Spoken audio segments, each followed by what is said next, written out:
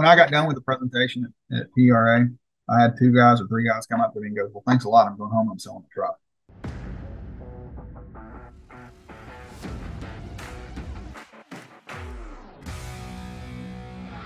What is going on, Diesel Nation? We're excited to have you guys with us today on the Diesel Podcast. Today's episode, I promise the title is not clickbait. It's something that when I was chatting with Choate Performance about this issue, I was just taken aback at how serious this is going to be for the aftermarket, for performance upgrades for these Cummins engines. And I wanted to have an in depth conversation with them. So today I'm going to be joined by Cass and Adam, and they're going to be chatting with us about some major failures that happen on these engines. Um, it's for the 2019 plus 6.7 liter Cummins, and it's going to be a complete overview of it. So we're not just going to focus on one part. Basically, look at the engine as a whole. So if you have one of these trucks, you're thinking about buying one, you definitely need to listen to this full episode so that you can understand some weak points that are that are going to be there especially if you plan to add any sort of power to these engines. Before we get to it though, want to remind you our friends over at Kershaw Knives have a discount code for you. If you use code DIESEL2023 at kershaw.kaiusa.com, it's a great way to save some money, get some cool gear if you need a knife for hunting, fishing, EDC, at work, around the house. They've had a ton of new releases in 2023, with the Duralock models being one of the newer ones that they have. And the blade's made out of D2 steel. The way that the blade opens and closes is super smooth, keeps your fingers away from the blade when you're operating it. So if you're in the market want to save some money, definitely make sure head on over their website and use code Diesel2023 for 20% off site wide. All right, let's get to today's podcast with Cass from Choate Performance and talking about why this might not be the Cummins engine that you want to buy if you're going to add power to it. Cass and Adam, welcome back to the Diesel Podcast. I love talking about engines. I know our audience loves to hear about them. And you guys had a topic today that uh, really piqued my interest, which I've heard some things out there about some of the 2019 plus Cummins engines and even some issues that affect them all the way back in the Common Rail lineup. And you guys have a ton of great information. So I look forward to chatting with you guys today, going through some details, and it's going to be really insightful. So I'm looking forward to learning along with uh, all the uh, all the listeners tuning in. Always good to yeah. see you, buddy. Thanks for having us on. And uh, yeah, it's uh, going to be a little bit different today. A lot of information, I think, out there for for listeners and anybody that's interested in you know failures and failure modes and fixes and things like that there's a lot of i think great visuals. So like i know a lot of our audience listens on itunes and spotify but i definitely encourage them to head over to our youtube channel check out this episode because cass you got a, a, ton of great information pictures things we're going to be going through which i think are really going to help the conversation help us understand what's going on. So i wanted to basically turn the podcast over to you and you've discovered and, and learned some really interesting things that we're all going to want to pay attention to. So tell us about some of these I don't I don't know if they're design flaws, major issues, problems that come up, how we would define it, but I think it's it's definitely interesting, especially if you own a Cummins.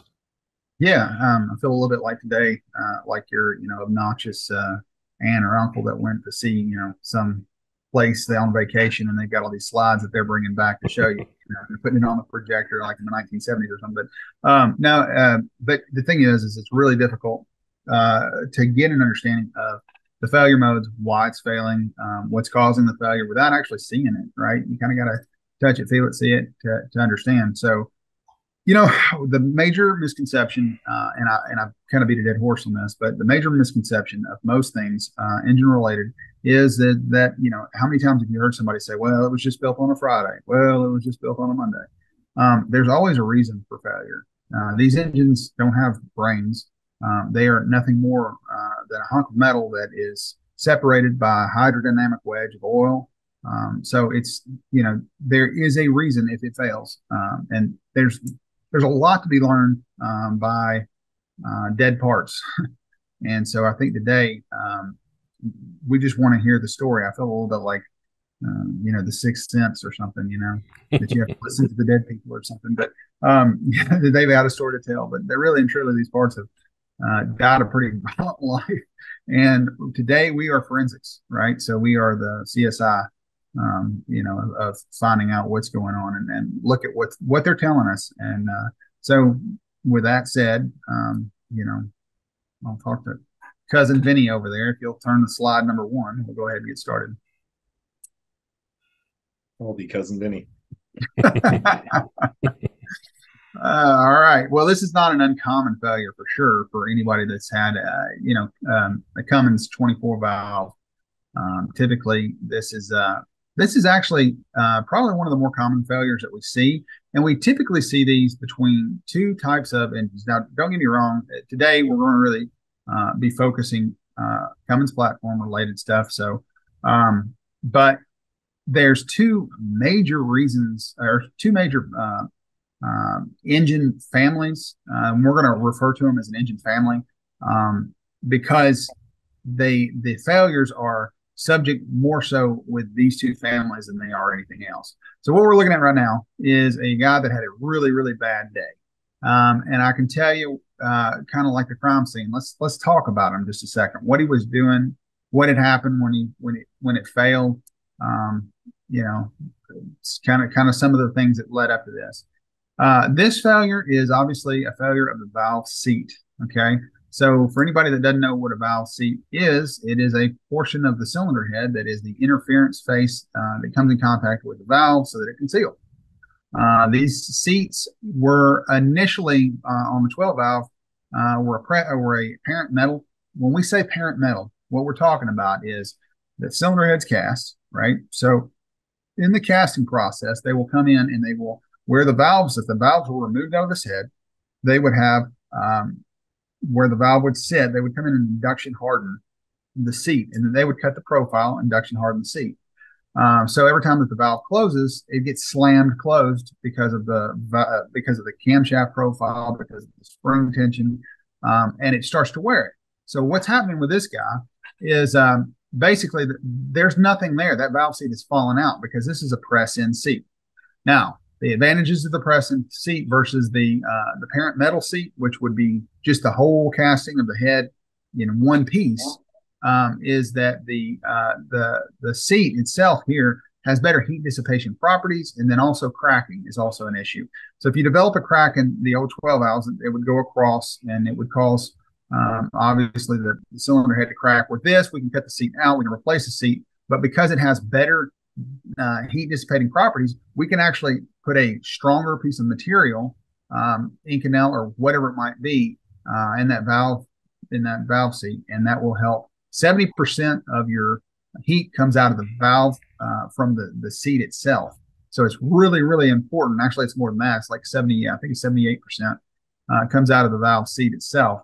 So it's really important. So what happened with this guy is he was more than likely, uh, most commonly, it'll be a guy that's tuned is this obviously we can see this is a 6.7 liter head. It's pretty easy to see because the steam holes between the cylinders. Um, that's different than the 5.9. And so uh, he probably had a hot tune on this thing um, or had the truck tuned. He was pulling uphill and he was on a long grade. Um, we see these types of failures in six, seven power strokes that uh, people ask this question. And uh, Patrick, I know you get asked this question probably all the time. Um, EGTs, right? We yeah. everybody's EGT is just a number. Well, how hot is too hot, kind of thing. Or you know, it doesn't really matter. Okay. Well, you know, if I was to tell you, and I've said this, use this an- analogy, and if I say, you know, this pen in my hand, um, hold it up, hold your arm, you know, straight out, hold the pen in your hand. Uh, is the pen heavy? Is is the pen heavy? You'd say, I don't know, absolutely not. Say, great. Can you hold it up? Sure, I can. Not a problem. Okay, great. I'll be back in eight hours. Right. Uh, tell me, you know, is it heavy now after eight hours? You said, man, yeah, absolutely. My arm's fixed to fall off. So there's a couple of things about this. Um, the the uh, scavenging through the the cylinder wall and the um, uh, or excuse excuse me across the cylinder um, is able to to pull that heat out. But when we put a, a heavy load on an engine and we're pulling up a grade like this, what we're doing is heat soaking all those components. And what happens is, is that the valve seat can deform. Basically, uh, what happens is, is uh, plastic deformation sits in after it reaches a certain point, and it will no longer have the same press fit that it had when the factory installed it or the engine builder installed it or whatever was to happen. Typically, your press fit on a cast iron head can be anywhere from four to six thousandths is, is what would typically run. A lot of guys will go, well, Cummins didn't have quite enough press fit on that we do increase the press fit. There's no, there's, that, that is true. We do increase press fit. We do use an oversized valve seat on the exhaust as well uh, to combat this. But what was the actual cause of failure? There's a couple of things going on. One obviously was the duration um, for tuning that definitely can cause that. to, to cause a valve seat when you're going up a long grade and you're having this heat uh, applied to these parts for a long period of time. That's the number one thing.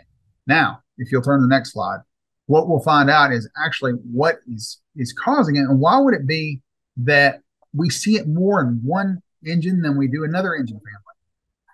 Both pistons that you see right here um, are pistons that are going to be based off of a 5.9. Uh, so the one on the right is actually the older 0304, 300 horse, well, 250 to 300 horse. Okay. The one on the left, 04 and a half to 07. Now you can see there's a complete, completely different combustion bowl on these pistons. The one on the, the right has more uh, failures for valve seats typically than the one on the left. Now, the one on the left has its own problems. That's 04 and a half to 07, three and a quarter Cummins. Everybody knows ring compaction. Well, we'll get into that in a minute. But why would that have that much bearing on your valve seat failing on the uh, uh, different year models? Well, here's the reason why.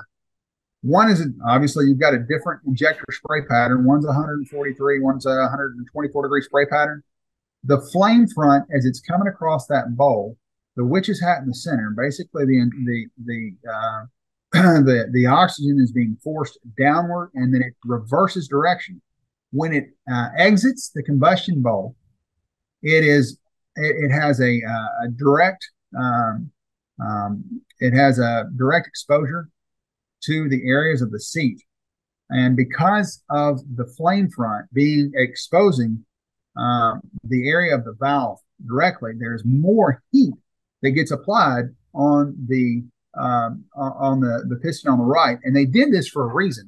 They're trying to force, I mean, the name of the game is, is maintain the heat uh, on a diesel engine, on a diesel application. We're trying to force the heat back towards the center. The further it gets out, the problem with that is is that we start getting cold spots in the cylinder. Now, one thing you'll notice is is the number uh, or the one on the left, the 04 and a half to 07, they don't ever crack. You hardly, rarely ever see those pistons crack. Now you go, well, why? Well, there's there's a reason for that. People go, well, the lip, you know, is not great. You can see that the combustion bowl itself is wide open. It does it has a smooth radius, but it's not what we would consider a reentrant piston. It's not forcing the oxygen back to the center of the cylinder. That's the reason why we have more valve seat failures on the right. Now, the problem with the one on the left, and you can go to the next slide, is, and you can probably even see it with that picture there. But if you look at the top ring line, okay, well, we'll we'll we'll discuss this and we'll come back. This is a obviously cracked piston. What's going on with cracked pistons? And people complain about that all the time. I've seen them complain and they say, you know, well, the OE had a bad piston. I've, I've seen them blame other piston manufacturers. The reason why the, the, the valve, it's just a bad Bad piston, bad casting, bad this, bad that. Pistons don't crack. There's never been a piston in the world that ever cracked. Um, I've never seen a piston crack. And you're going, well, what are you talking about? There's three pistons right in front of you. Well, none of those pistons actually cracked. They cracked after they were already broke. What they did was they got torched. And if you look at one in the center, the under power stroke, it's exposed. The Cummins one is too. The Duramax you can't see because that crack started on the other side. So what happened is, is it burned uh, it burned a hole through initially, and it acted like a cutting torch, and it just absolutely destroyed uh, the piston. It just blew a hole right through it. Well, when that happens, it starts out a very very small hole. And what what uh, begins to happen is, is now that we have a small uh, hole where it's been breached, every time that piston comes up, the oxygen is going into this tiny hole, and it's forcing the pressure to the outside, and that's what begins to crack the piston. Now, it also starts to uh, typically these are going to be salt bath rings where they have um, the piston coolant jet underneath is spraying into a cavity in the piston. So what happens is it starts burning the oil uh, every time it's actually coming up, uh, or excuse me, every time it's actually on the downward stroke. There's a low pressure area and it's pulling the oil out of that piston back into the cylinder wall or excuse me, into the cylinder. And then it burns through there and that becomes extremely hot. And that's the reason why that hole becomes so so big. You can see that on both the sides. And like I said, it doesn't take long for it to go ahead and crack. Now I can tell you the lo- the orientation of the piston on every single one of these. I can tell you how they were loaded, and I, I don't have to have the engine in front of me. If you look at the pistons and where they're cracked, that's between the exhaust valves every single time. That's where the crack starts. It does not start randomly. And people go, wait a minute. No, see, it's the wrist pin that's causing that pressure right there because it's always parallel to the wrist pin. Not so. Case in point, 7.3 liter. It will not crack that way. A 7.3 liter will actually crack in a vertical position. It won't crack along the side of the wrist pin. Check it out. Go Google search it right now if somebody's watching, and you'll see it. And you go, well, wait a minute. It, then the wrist pin doesn't have anything to do with it. it has absolutely nothing to do with it. The reason why the 7.3 cracks that way is because of where the exhaust valve is located and the scavenging effect between intake and exhaust. Because that is the hottest point in the combustion chamber or in the combustion bowl of the piston is right directly underneath the exhaust valves. Because when the intake's open, I'm getting at least some fresh air and I'm cooling that side of the cylinder. So it's constantly forcing that hot oxygen that as it's being compressed, it's getting trapped in that area. You know, the Lipping pistons is, is definitely a way to fix this, but what we're doing is, we're reducing the heat in that area. Um, there is some trade off in that. You do get in, in full transparency. Um, you lose a little bit of efficiency, but you gain obviously the um, uh, you gain uh, the uh, the reliability aspect of it. So that's pretty much, I think that pretty well covers uh, what's going on there. Well, I will say this a lot of injector manufacturers, and I'm kind of taking up for the guys over there, they're going, well, the injector calls that. Injector didn't have anything to do with that. The reason why I can tell you that is if you look at that Cummins piston that's cracked right there, the spray pattern, you can tell. Now, there's another thing that I will add. Um, tuning is definitely, uh, definitely exasperates this problem because of the basically a combined gas law. We talked about this before um, what happens is is that if we increase our injection timing, right? So we're spraying further. What happens is is our cylinder pressure goes up exponentially. Everything has a fuse. We talked about that before, but here's the way it works. I was talking to somebody the other day that came in. So basically, what the life of this thing is and how it, how it works is is the guy before he cracked that piston, most likely on that Cummins on the six seven, he blew a head gasket. Then he went back and he put head studs on it. And then after he got done putting head studs on it, he ran it a little while. He cracked the piston. Well, wait a minute. What would have happened if he hadn't cracked the piston? Let's say he had a monotherm piston in this thing and never cracked. Okay, then it's going to move. What's going to happen is he's either he's going to bend a rod or he's going to wind up wiping out a rod bearing. It's going to move. The failure mode moves. It's like a fuse, and I've said it before. It's like a guy with a you know, a breaker that keeps tripping in his house, and there's obviously something that's shorted to ground. And instead of actually addressing the problem, he goes and he slaps a 100 amp breaker in the thing. Next thing you know, the fire department's there, and the insurance company's going, Well, what happened, Mr. Jones? I said, I don't know. I just put a bigger breaker in. Well, that's the reason why. There is a reason for everything to fail. We just, it's trying to tell us what's going on with this thing. We just need to pay attention to it. And so that understanding what that part's saying, it's telling me, help this is the hottest part of the cylinder. Somebody help me. And yet we, we're not paying attention to it. The injector spray pattern, you can tell spray pattern on that one a little early. It's a little outside the bowl. So I can tell I'm, I'm looking at spray patterns. Every time I take one of those things out, I'm looking. The further out you start seeing that spray pattern, again, how you know this is it's like a shotgun, right? If we were to shoot it at a wall at 10 feet, we were to back up 20 feet, shoot it again, spray pattern completely, it's a lot broader, right? Because we're further away. There's no difference in the relationship between the shotgun and the wall as there is between the injector and the piston itself. Because the piston is the wall, the injector is a shotgun. And the further we're getting out on that bowl, then that tells me we're spraying early because it hasn't, it's not getting the top dead center now. We're spraying. What you want is it to basically, you want to capture the heat inside the combustion bowl so that we can make a more efficient burn. They do this for a couple of reasons for emissions, but for time's sake, we'll stop at that. But that kind of gives you a little idea what's going on there. There's a lot more that can be said about this. You can make a whole topic about this. But anyway, that's a brief description. If you'll go to the next one, cousin Vinny. So one of the things that you see right here is for scavenging. People ask all the time, what's the reason for these things? So you notice that they didn't put it between the intakes. They just put it between the exhausts and the one intake. Why would they do that?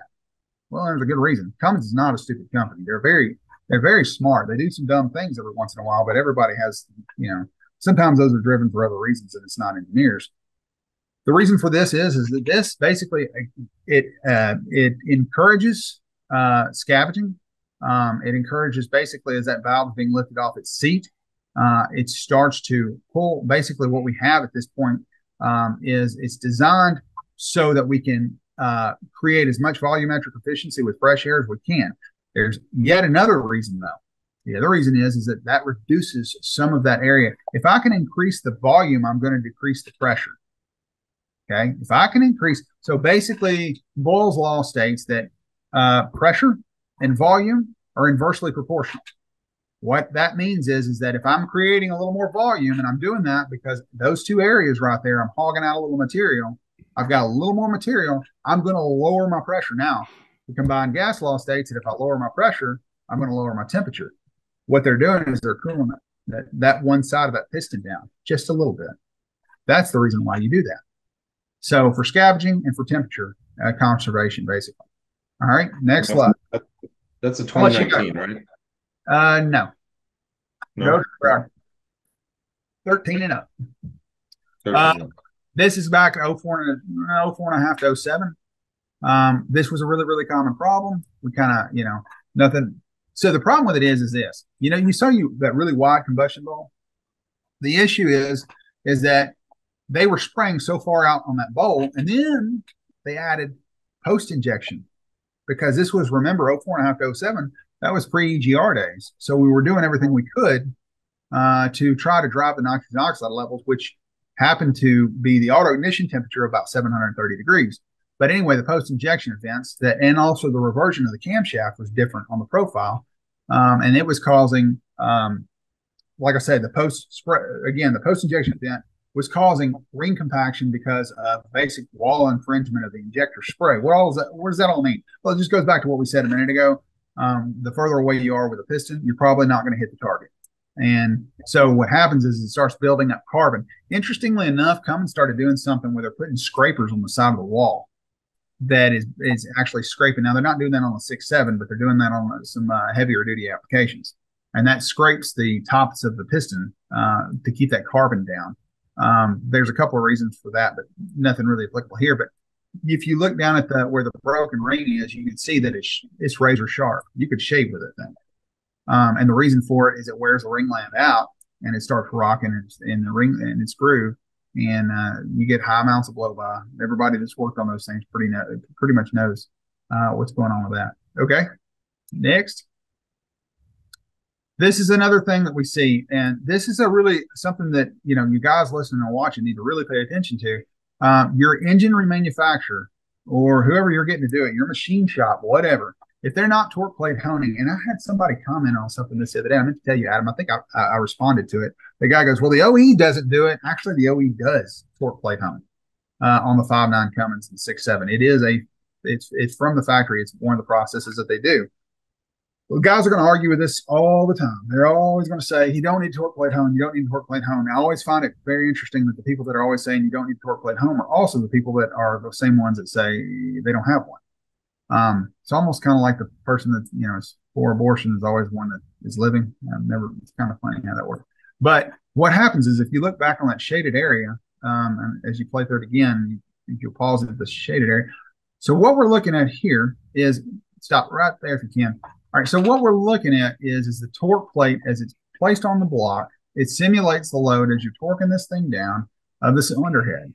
If you hone it without the cylinder head and you hone it without the torque plate, then what is just mind boggling.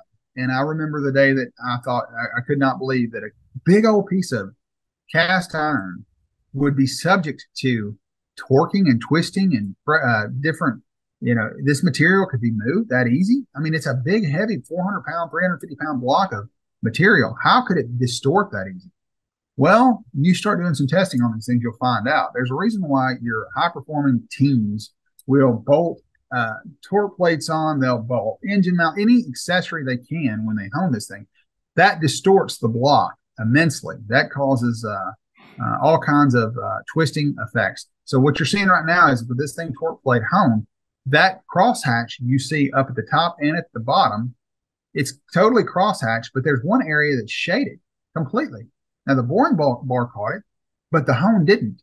Well, it's because when you uh, torque plate honed it, it distorts that bore because when you put a cylinder head on, it distorts the bore from what it was in a static position. So if we didn't do that, that distortion is about two, about one and a half, two thousandths. That equates to um, tremendous amounts and there's no way to put a flat number on this because it can be, it could be. I've seen guys pick up, I've seen guys pick up three digits on horsepower based off of their surface finish and based off of torque plate honing, and it, they did nothing different, but just just that. So now that block will be honed to size, and then we leave enough material so that we can take this out. But that's the importance of torque plate honing. So if you have engines that are consuming oil after a new a remanufactured engine, that's typically the biggest problem with it is when guys are doing these remanufactured processes. They're not doing this, and that will cause oil consumption. Uh, big problem those uh, the six sevens. I mean, not spend too much time on this, but and we have a fix for it. There's uh, other companies out there, but um, anyways, the intake grid heater. Obviously, the bolts get hot um, right where it's attached. Typically, what happens is is that uh, it's not the fastener on that thing um, is there's so much current that's going through it that it it winds up displacing and is is it's no longer contact. It's it's like arcing effect basically is what happens. You can tell from that it begins an arcing effect, um, and eventually the head of the uh, the nut will fall off. And well, if you look at the other side of the piston there, you can see uh, the effects of that. So, I mean, just it's a bad day. Uh, that that engine is in for major teardown and major repair at the very least. So, not much to say about that one. I had a, I had a quick question for you, Cass. On the uh, we're talking about the the heads, the pistons, all those sorts of things. You had mentioned, or, I understand the heat part of it, and I think how many truck enthusiasts have a tuned truck. Do you ever see these issues on bone stock trucks, or is it like nine out of ten times it's something that's tuned? So tuning is the number one reason for premature engine failure. I would say. Okay, uh, poor tuning. Let me say that. Do you see it on stock trucks? Yes. Is it as common? No. But here's the other um, factor of that: heat and pressure are the only two things, really, for the most part, that that kill uh, anything cylinder related. Keep in mind when your di- diesel particulate filter stopped up, you're creating tremendous amounts of drive pressure in terms of not just in the pressure itself, but in the heat that's being backed up, things going through excessive regen. There's a lot of things going on with that. And because of that, yes, they, they definitely can fail. Um, I'll tell you this though, the ones that I see it the most on uh, that are factory would probably be, um, well, it's hard to say. You know, I've seen, you know, six fours, you know pop pistons that are factory tuned. Um, and I've definitely seen other ones do that, but it's it's certainly it's it's the minority by a lot. I can see how with the topic of heat, I know that the five nines have some issues, which you went through, you know, with the slides. But with the DPF, the EGRs, and how those have progressed, and the heat that they need to be able to do the regens and the different things that they do, how that can become even more of an issue because of how hot they're running, just the way they're designed. Yeah, yeah. matter of fact, uh, the new S13 International is the first, I think. Don't I mean, correct me if I'm wrong on this, but I think this since uh, the mission days on the. Uh, they're introducing a new engine. International just announced. Um, I've kind of looked into it just a little bit, but it's a 13 liter that has no EGR. Um, so that's kind of a weird change, but everything. If you look at the the diesel particulate filter on this thing, the, SCR and everything, um, I mean, it's golly, that thing's like three feet deep. It looks like and two feet wide. It's a monster. Um, it's extremely complex um, diesel particulate filter, but yeah, it's definitely introduced some failures that that would not have normally been there. But um, I would say, unfortunately, and I, I, don't get me wrong, I'm a performance guy. I love performance engines and everything about it. But I have to be honest when I say that I've seen more calls of engine failures. And by all means, I know I get bashed on this. I'm not saying that uh, you don't tune, um, you know, tune a truck. I'm not. I'm not saying don't do it. I'm just saying, again, I've kind of said this before in the past.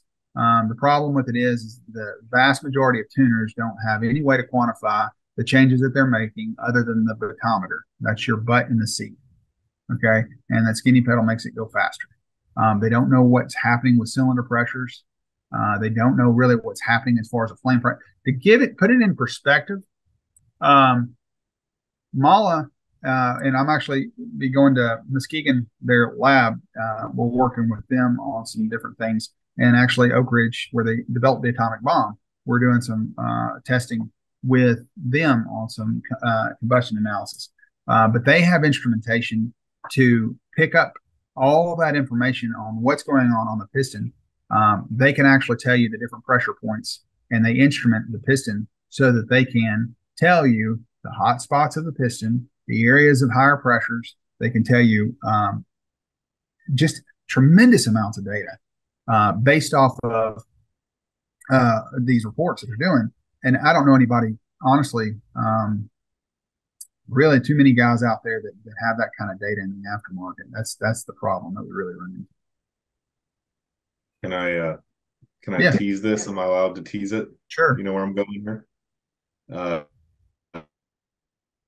a lot of this is related to the dimpling of the pistons, the golf ball pistons. This is They they found out some really interesting stuff. Another conversation altogether, but it's it's it's really interesting to hear what they found. yeah, yeah. It's always interesting how um, you know everything needs to be tested to, sa- to be as scientific as we possibly can on anything that we do. Um, it's really important to make sure you know everything has to be done. Um, you know, garbage in, garbage out kind of thing, input output. Um, it really has to be. Um, you can get what you know. It's I'll just say that it's extremely important that that the inputs are going to they're going to man they are going to uh, affect your outputs. You know, in the way that we do that. Anyway, next slide. Yeah, if you've got any questions, both of you guys, please jump in. I know people get tired. Uh, this is really simple, easy, low proof freeze plugs. Um, I guess so. This presentation, in all fairness, um, was given uh, last week for the Production Engine Rebuilders Association, and that's where a bunch of the P. So what a PER is is you have to manufacture a minimum of 500 engines a year. Um, so I get invited down there. Seems like uh, this is my third year in a row to, to talk about some of the problems, uh, how to drive down warranties, and, and how to improve different products and things like that. Um, and obviously, those guys are production engine builders, so they're not gonna uh, they're not gonna probably adopt some of the things that we do because it just takes too much time to do it. Um, but we talk about it, and there's a lot of things that they can do. So uh, anyway, this is one of them. So anyway, all our engines come standard with this because if we have a problem with something, we're not going to do it the same way tomorrow tomorrow that we did today. We're going to change it if we know there's an issue with whatever it is, whether it's an OE problem, our problem, or whatever. Go ahead. Seven three now too. Oh yeah, yeah, yeah. Sorry, I, yeah, I missed what you were saying. Yeah, so the seven three. Not to jump off on that topic, but one of the things that we did some testing on, we found is that your seven threes for the Ford guys out there, so that they don't feel like they're left out. I can talk about your problems too. um, but um, so what happens is, is the sidewall on the on the the the block itself is thin. I mean, it's just a four, basically the 444 was a or the 7.3 liter, whatever you want to call it. The sidewall, uh, and I'm talking about the castings where the engine mounts are, they are pretty thin. And what happens is you'll see more problems come from blown freeze plugs. And I know this because we fought this blown freeze plugs, and it always blows out of the same one every stinking time, it seems like. Um, if it's going to blow most often, it'll wind up blowing right there by the engine mount. Okay, well, this ties in with what you're talking, what we're talking about with the uh, torque plate honing, where people go, "There's no way a casting can move that much." Absolutely, it can. If you do it long enough, you will find out. Anybody in this world that does what we do, oh, maybe, oh yeah, absolutely, it sure will. Well, what happens is the engine mount, where it's mounted, um, is right below the freeze plug. And when a guy takes off at red light, you have that torque effect, right? It's happening. So it's pulling down on the block. So there's about a 12 to 15 thou press fit on a freeze plug. And what happens is, is it pulls down, and a lot of times, you know, after a block's been re- manufactured, if, if you're you've ever had a plug out, I mean, it's it's going to happen. You've got sediment and stuff around little areas and different things like that. Well, sometimes they'll slightly, you know, change the geometry a little bit. When it when it torques over, it loosens that press just enough, and it will wind up sometimes blowing out that plug. Doesn't matter. You can put Indian head number nine on it. You can put a, an anaerobic on it. You can put Loctite on it. You can, you know, you can get your little brother to hold his finger there while it's going down the road. It doesn't matter. It's going to come out. And the best way to fix that, once we find a problem, we're going to fix it. Um, so what we do is all of our seven threes now come standard with billet freeze plugs with tie bars. They can't come out. It's impossible.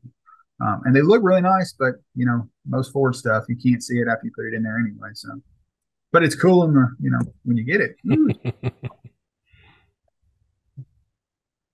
Next slide. Sure. Um, yeah, this again goes back to some of the uh, installation issues that you know guys were having for the PERs. Um, you know, guys, I've seen them run some aftermarket coolers that are out there. They're a five layer cooler instead of the eight layer cooler.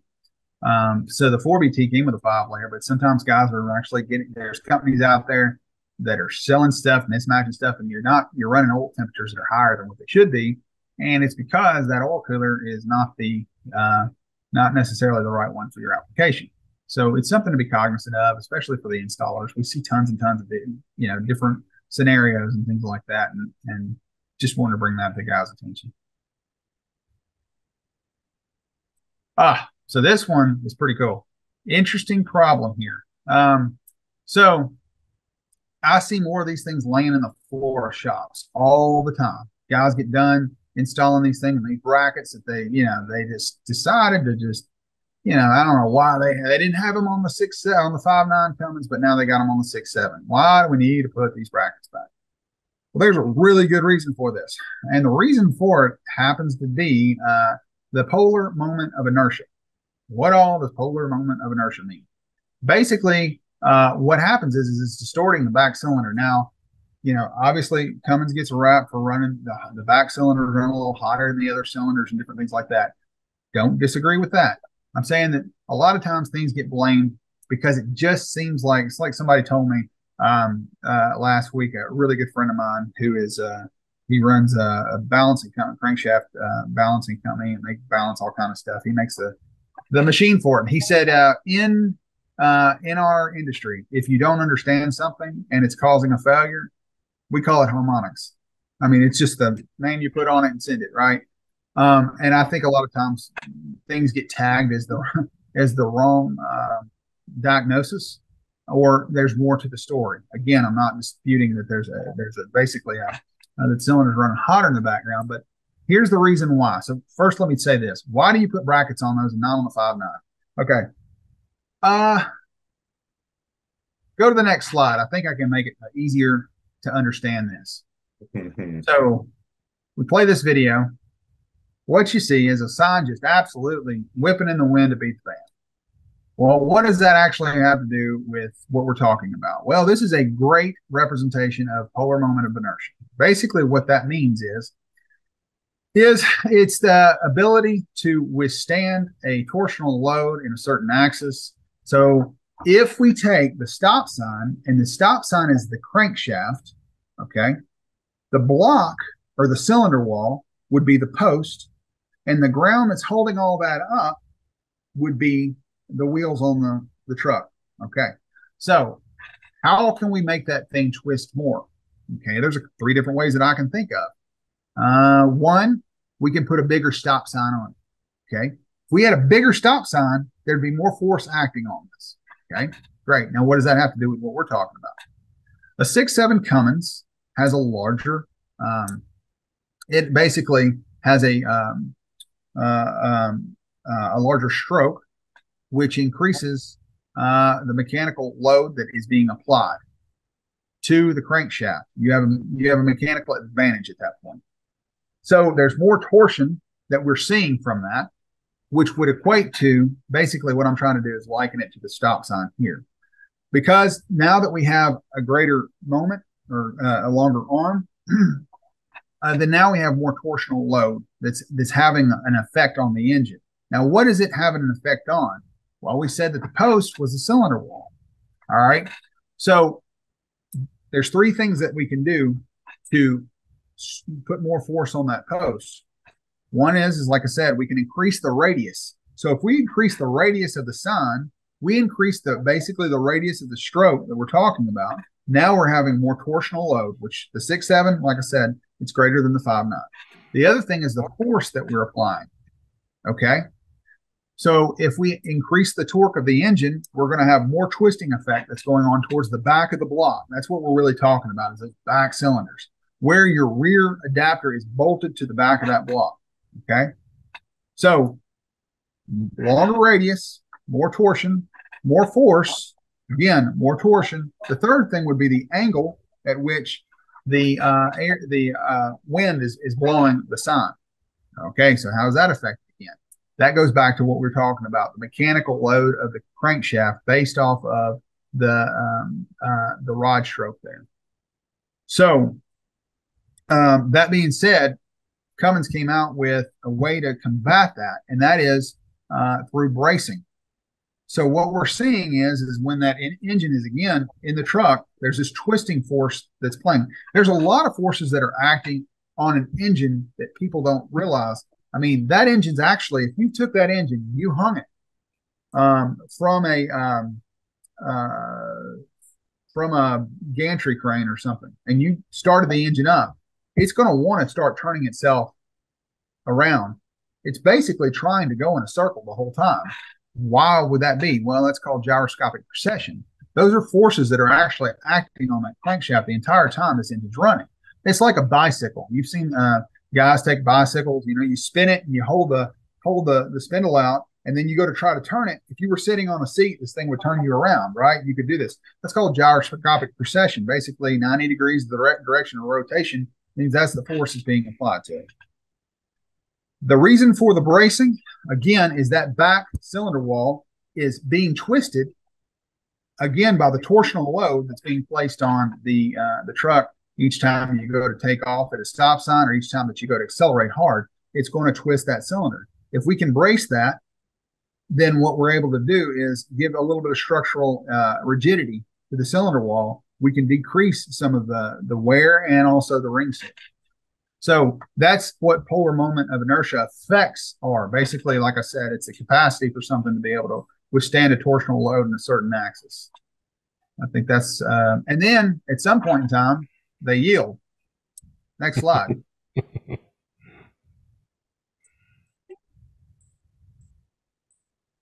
don't know if you got any volume on that one or not. This lady's uh doesn't know it yet, but she's having a bad day with the wind blowing. I think I've seen this one before. yeah. And then there's the yielding of the stop sign, right? So it's uh it definitely is a real thing to combat. It's a real problem. Um, so the bracing's there for a reason. There's a reason why Cummins spent as much money as they did to manufacture that part, uh, and it's not just for looks. It's helpful to see all these slides and then hear the explanations behind it. Because typically we'll hear about just the failures or the things after the fact, and it always seems as just a casual observer, like they're chasing the problem, they don't know where it came from, and then you're just throwing parts at it, not understanding it. So being able to see these things is incredibly helpful to understand why six yeah. sevens might have issues, or even some of the other engines that you went through. Right yeah, it's really a difficult thing to try to explain this without having some type of visual aid because it's just I couldn't grasp it. My mind uh, couldn't grasp it. But it's important, like I said, it's important to understand and to grasp the understanding of you know um, everything happens. everything happens for a reason. Sounds like that'll preach or something, but everything happens for a reason. Um, and it is important with engines to know there is a there's a reason for this thing failing. We just need to listen to them. I think it becomes even more important with the upgrades that a lot of truck owners will do over the years that they own something. That's where it starts to compound itself. And that's where my interest is really drawn to is okay, maybe I'm going to tune it. Maybe I'm going to do different injectors, different turbo. Maybe I'm going to do these other things where I want to, I want to know before I do it what I'm getting into and where I may have some issues. So the problem is being an engine builder. And I would not, if you uh, value your sanity, um, I would not suggest this as an you know as a profession. And the reason why I say that is because you can't even install a bumper without affecting my engine. You what are you talking about? You're crazy. You can't install a bumper without affecting. And I think I mean you talked about this before. Um, but there was a, and it's interesting enough. Um, the guy that used to work for me, he had a just installed. He had like a 15 Cummins or something, and he put a certain bumper on there and goes up into the mountains pulling a camper. Next thing he knows, he's getting codes for intake air temperatures and just going crazy. And that's because the location of the intercooler was being blocked by uh, the the bumper that he just installed. It was an aftermarket part. Nothing else changed. And how does that affect the engine? Well, obviously, mass air density is absolutely destroyed at that point in time because we're trying to compress something that's hot. And when you go and you compress uh, uh, something already that is already hot, we're just superheating this thing. Um, not to mention that we're destroying any performance that we would be able to have. But you can't put bigger tires on it without affecting the engine. I'm not saying don't do these things. I'm understand. I'm saying you need to understand what you're affecting. You, if you put a larger tire on this thing, how does it affect the engine? Well, what happens is, is now because we have increased the the angle of incidence, the basically the angle of the uh, the the drive shaft now, what happens is, is, is now we have more axial load that's placed on the engine. So when you go to take off, how many how many times have you got seen guys, you know, or videos of guys snapping drive shafts? You know, this huge drive angle, right? What happens is is that, or perfect example, the you see the rear end start to wrap, right? Well, it didn't do that until you started to, to crank on this thing. You started to increase it. It's pushing forward on the engine. Okay, it's trying to push the engine basically through the front of the radiator.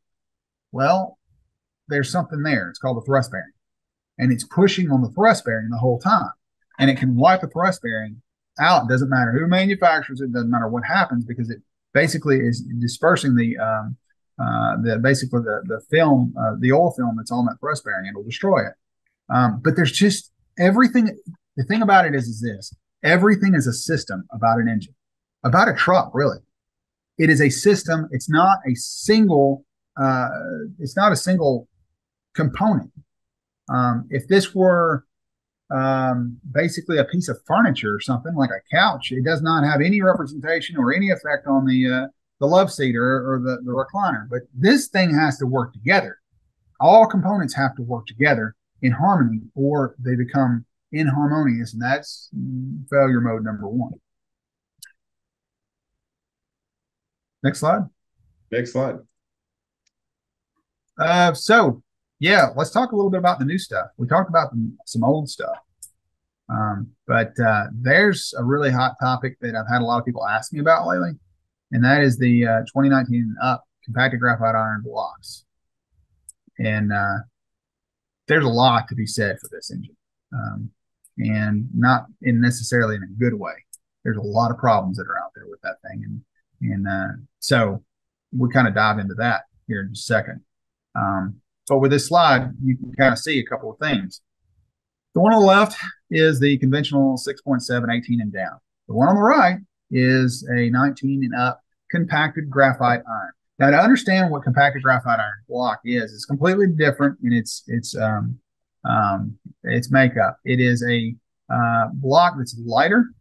Um, it is a block that's stronger and it is a block that in many ways is less dense and will absolutely uh, have more not to go back to what i said but it has more uh, frequency and harmonic issues that we're seeing over and over again. Because based off of the um, uh, the composition of the block uh, the density of uh, the material uh, it's it's completely it, it, reacts completely different than, than cast iron does. Anybody that's ever surfaced one of these blocks knows that uh, if you took a, a, a surface um, uh, a uh, block cutter over the top, you would fight waviness off of one block versus the other a lot more. It'll wear the inserts out a lot more. There's a reason for it. This thing rings like a bell. But if you start looking at the just the geometry of the block, the first thing you're going to notice uh, is that the blocks contoured to the cylinder wall. They have taken weight out every single place they could on this block. Um, they have um, they have looked at any area. They've actually pulled out 74 pounds of uh, weight last time I checked on the block alone. But um, that's that's came with a price tag. They've done that for a couple of reasons. Some of it's manufacturing costs. Um, some of it's is, is based off of um, uh, some engineering designing that uh, they thought that they could get away from. I think more. I really, I think it really boils down to it was just honestly, I think it was manufacturing cost more than anything else. I can't really think other than lighter fuel mileage possibly they could have picked up. But in doing so, you'll look if you look at the water pump area, okay, on the one on the left, it's just kind of a basically a prismatic shape, it's just kind of squared off.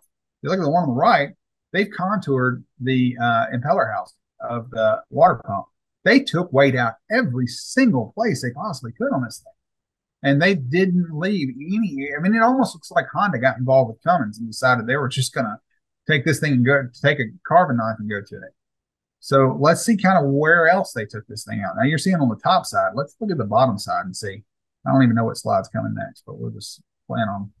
Okay. Well, here, let me, let me go to go to the bottom side. How's that? okay, there you go. Yeah, that's good. All right. So if you look, there's windows everywhere on the main saddle. Yeah. All right. Well, that's a problem. Okay. So we took weight out. That is not, and if you look on the left side on the main saddle, there's a gaping hole right there, round oval. You see that? Right down below the bearing, where the bearing would sit. If you go down below it, there's a hole right through the main saddle. On the right hand, they've windowed the one on, uh, on the side. So what we have done now is we've created a problem and a big one, and it's sitting right in front of your face. If you, and I wish I had a pointer or something that I could zoom in. It shows up pretty well. Uh, yeah, I don't know if the guys on the screen can see. Is yeah. It, you've got my pointer. Right? Okay, look at the fretting area. You should know. Yeah, that is the windows, right? So if we're looking at that, right where the bolt hole is, no, no, no, no, no, no. Go back. All right.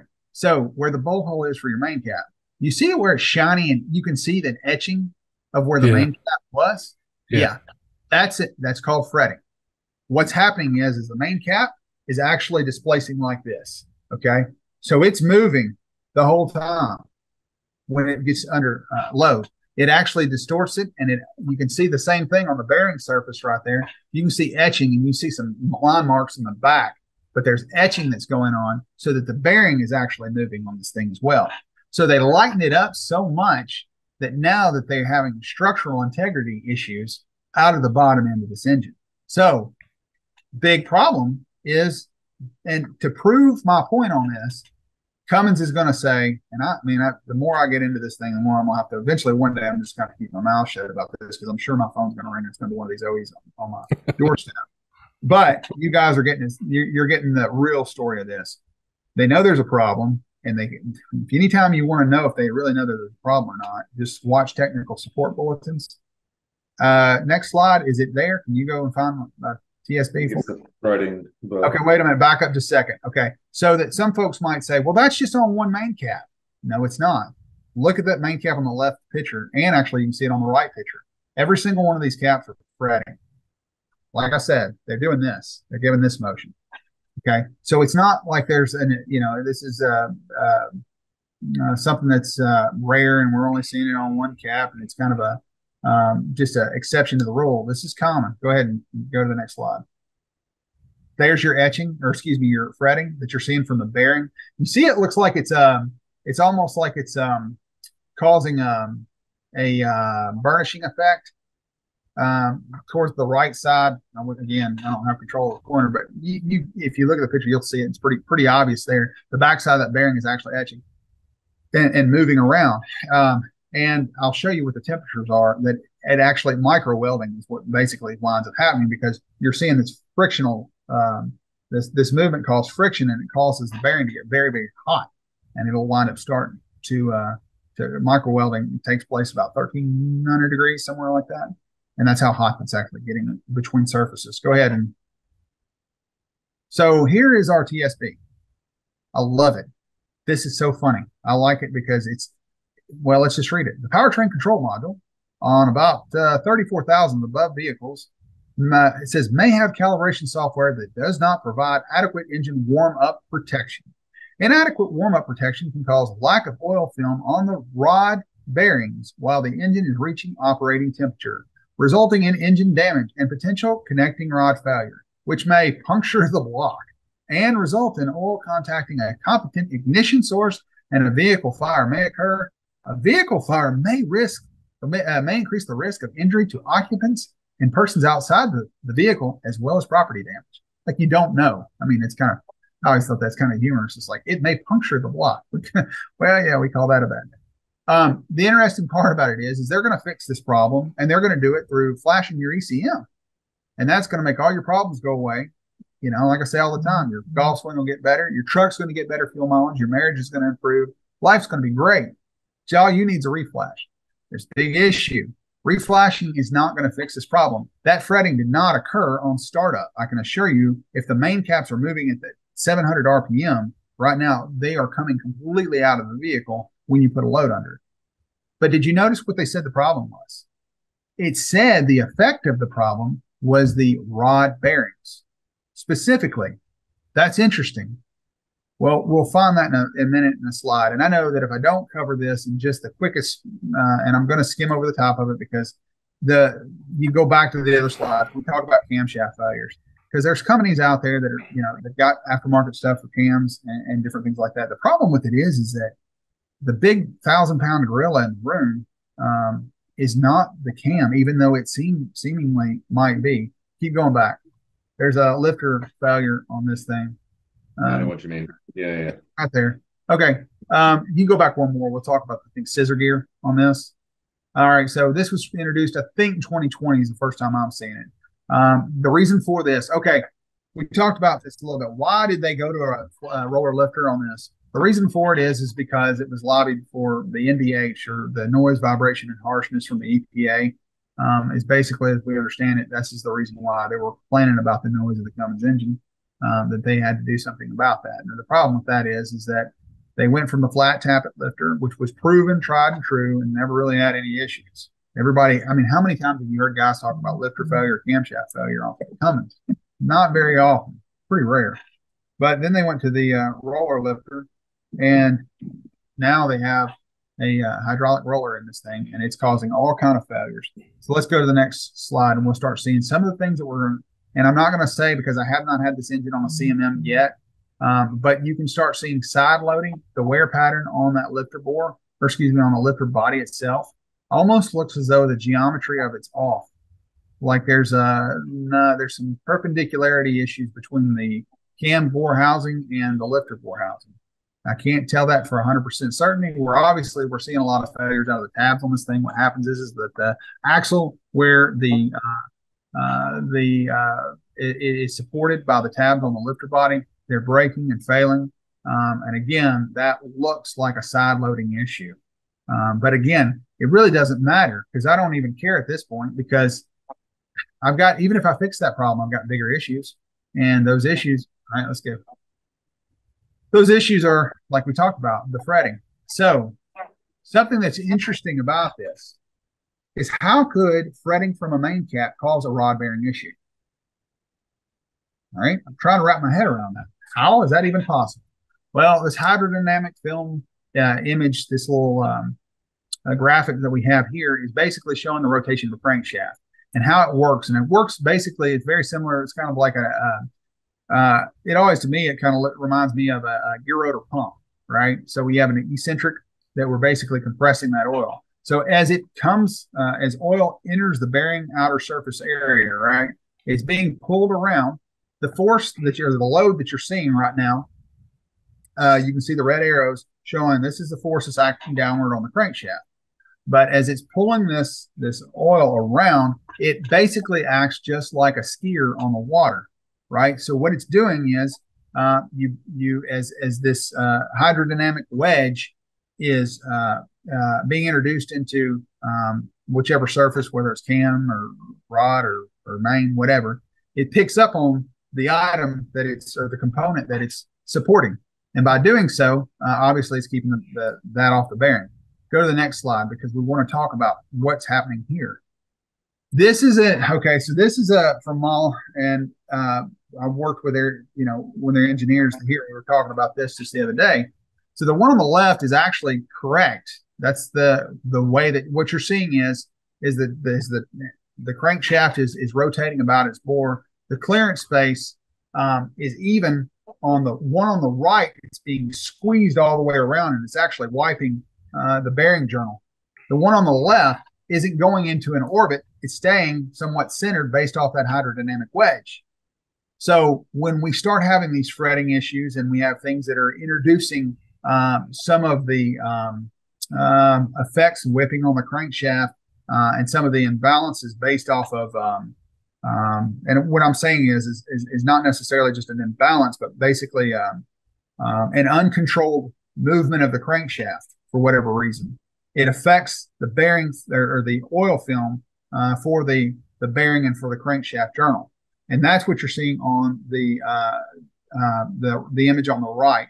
So it's um, creating a uh, a wiping effect basically for the oil. Go to the next slide, and we'll kind of look at this just a second. All right, so you can see from uh, this, it, basically from that wiping effect, what we're seeing on the right side is about seven tenths. I think, uh, and I don't have that information in front of me. Um, I think the one on the left is, is nine tenths um, oil film, basically that's, that is basically breaking that uh, uh, that hydrodynamic wedge down, and you start having peak pressures because of this. So we have uh, go to the next slide just a second, and I can show you on this. As it there we go. That's the, the seven tenths that I was talking about, and the other one I think the camera's behind that. Yeah. Okay. So here's what's happening. We have a peak pressure. Go to the go to the next slide. Just one second. We'll see if it's on. Go to the next slide after that, and I'm gonna have to come back. Okay. Uh, one more. Okay. Well, all right. Let's look at this slide here. So as that crankshaft is moving, uh, and there's an image on this. Uh, I don't know if it plays or not, but it shows an elong. There it is. It's an elongation, basically, of the journal housing bore. Now I'm going to make this real short and sweet on, uh, for this. What's actually happening? Go back to that the other slide real quick.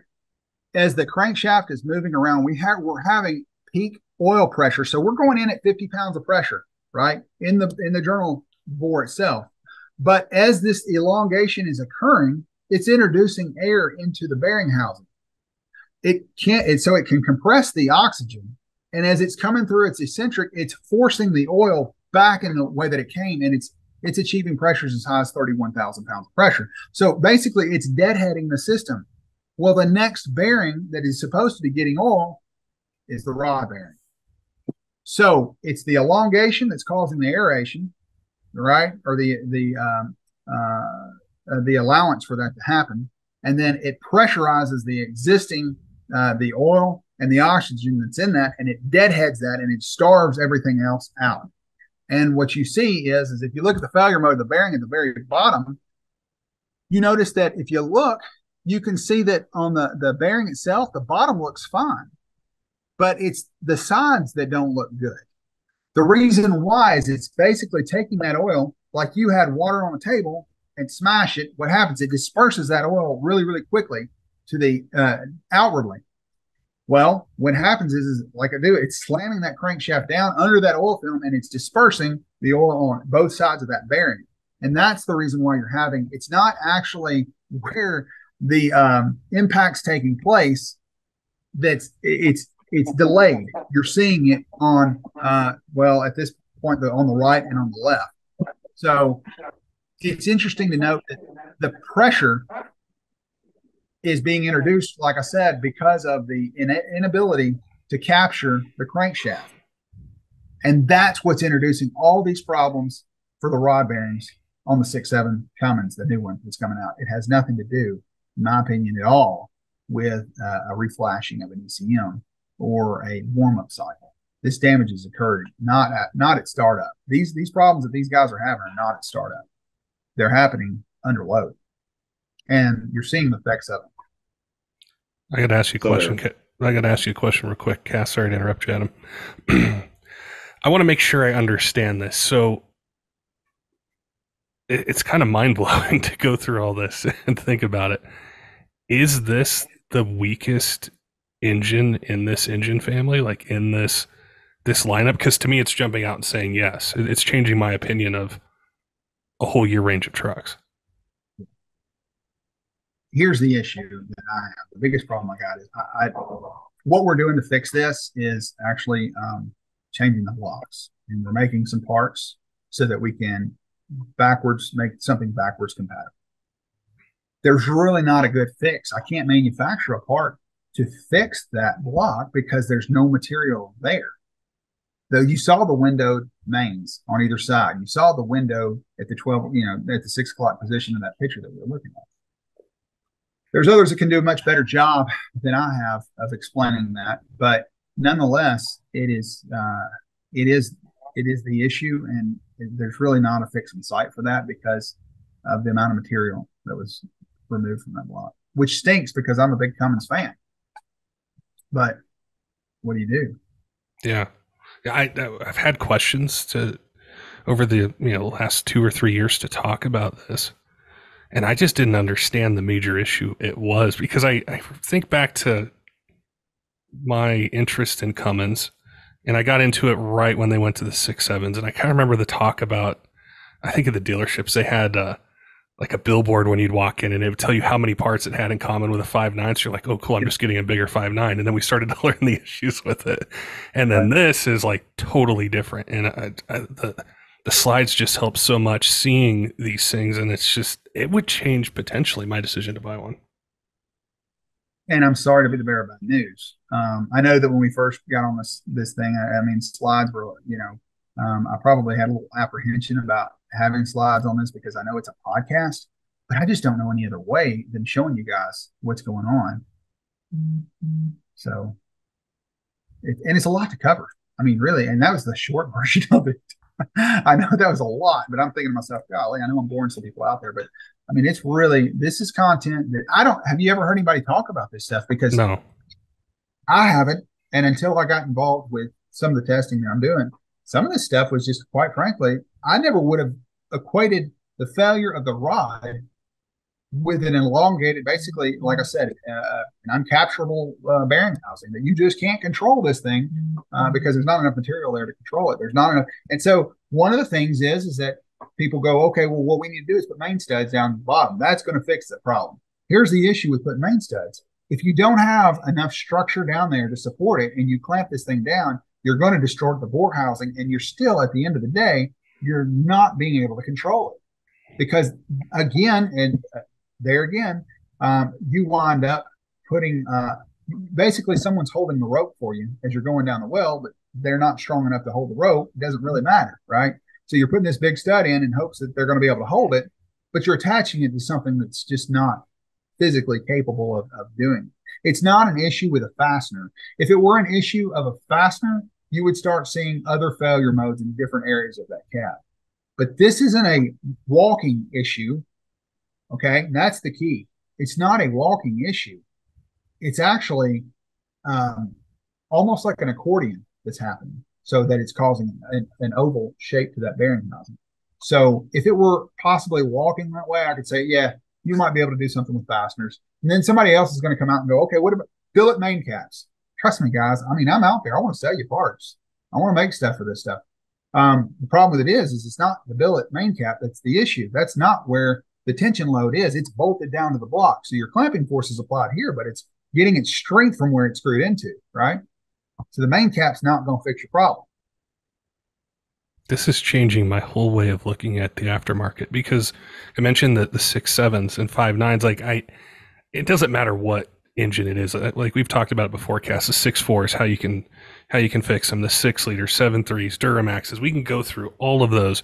And there was always a solution. Might have taken some time, but there was something we could do with pistons, freeze plugs, piston rings, heads, valve seats, all that sort of stuff. Well, now I'm having this foundation that is inherently flawed.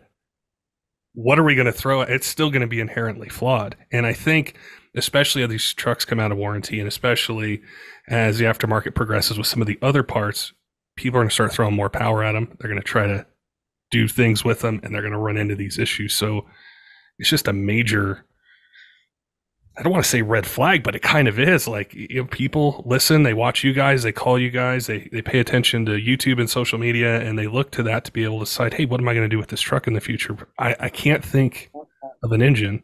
You would know better than me that has this inherent flaw that's so big, it's going to affect the future of it from a reliability, longevity standpoint, power standpoint. Is, is there anything similar to it? You know, Cummins hasn't had an issue, and it, it it wasn't this big, but the code the code fifty three block was cracking. Yeah. Right. Um. Yeah. I mean, but they some of those were warranted, some of those went two hundred thousand miles, never had failure. And you know, you're always going to get the guy going, "Well, I've had my six seven uh, Cummins twenty twenty, and I've got three hundred thousand miles on it." Yes, you do, but it does not. It's it's not the one that's the it, that's the exception. And I'm not telling you that every single one of them are there, but I'm telling you that if you add any power to this thing, uh, it's going to end up having more. You are it, the you saw it yourself the bottom end, and that the fact that they're putting this TSD out there, they're admitting to it. They know there's an issue. It's not like I'm coming up with this thing just to have something to talk about. I promise you, that's not the case. There's an issue. Um, obviously, we're seeing it, and we're seeing it from all sides.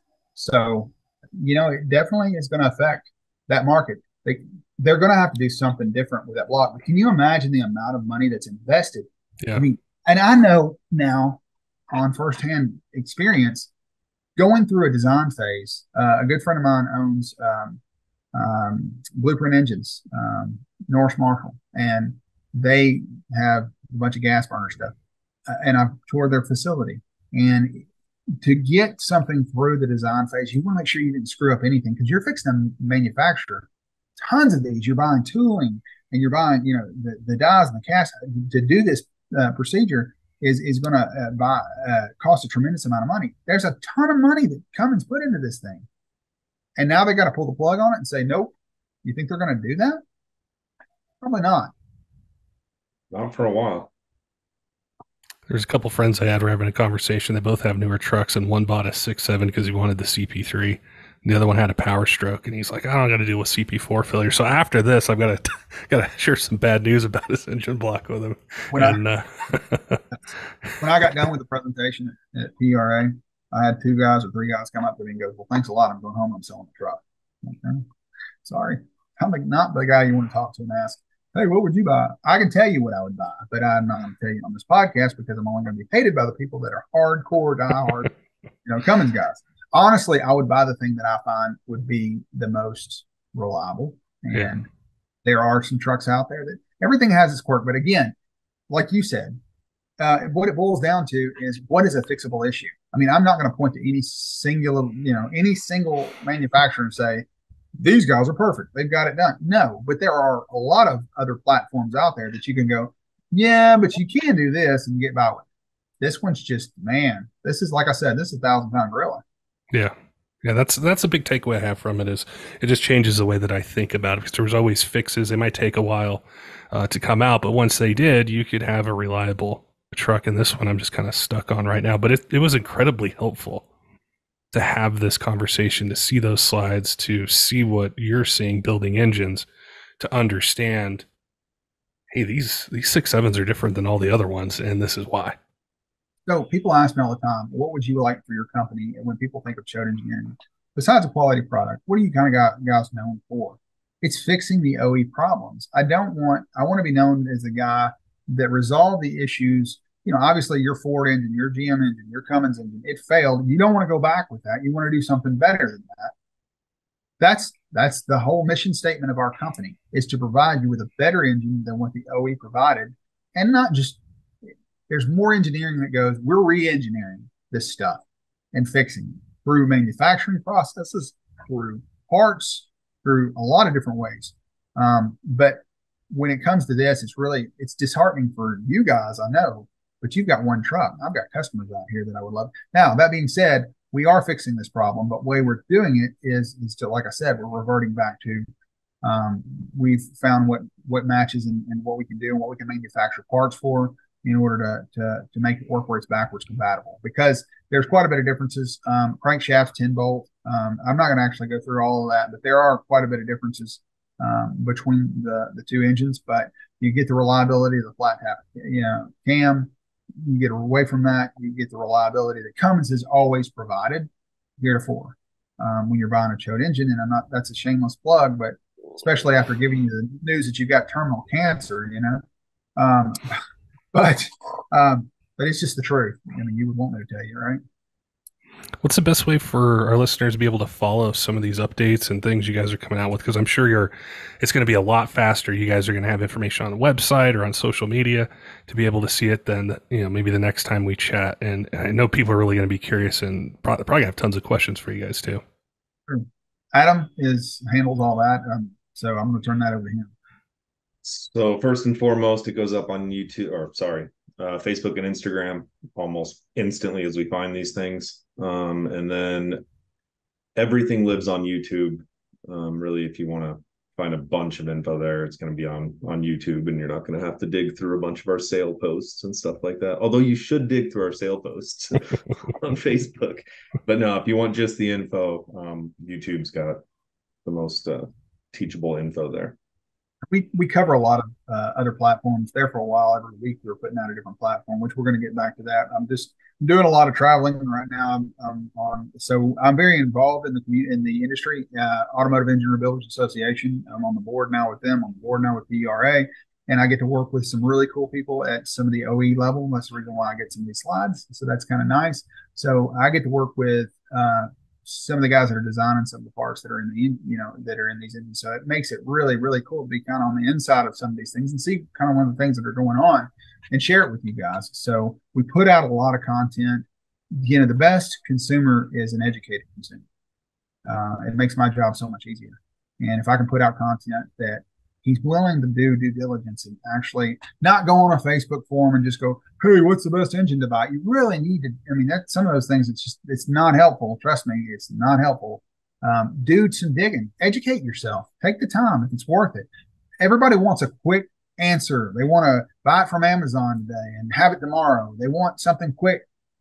Do due diligence and do your own research and spend some time. You're spending money, spend time on this. Because at the end of the day, I don't know too many guys that drive trucks that don't want to know more about what they drive.